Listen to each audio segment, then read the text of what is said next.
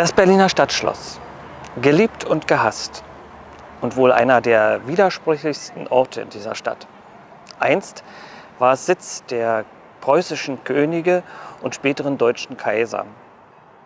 Nach der Monarchie fungierte es noch in den goldenen 20er Jahren als Museum, bis es nach dem Zweiten Weltkrieg zerstört abgerissen wurde.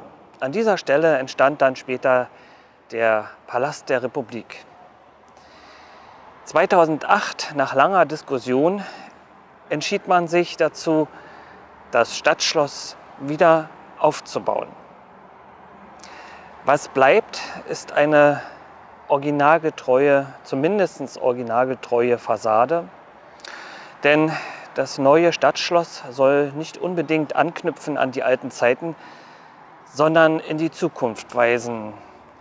Es bekommt den neuen Namen Humboldt Forum und in ihrem Inneren sind viele kulturelle Veranstaltungen geplant und es beherbergt natürlich auch die Museen der ethnologischen Sammlung, die Kulturen der Welt.